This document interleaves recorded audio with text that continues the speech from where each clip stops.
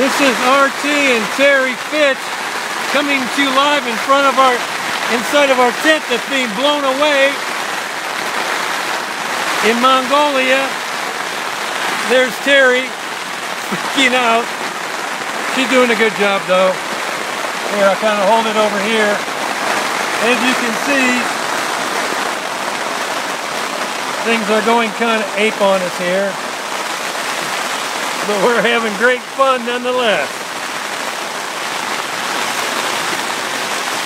Yeah, I don't know. We're trying to hold the walls as the wind is a lot. As you can tell. We're actually inside the tent and trying to keep it from blowing away.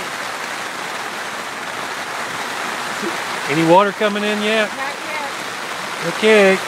Well, that's the excitement from here in Mongolia. Here, we'll get our faces together. We'll fill you in later. Bye.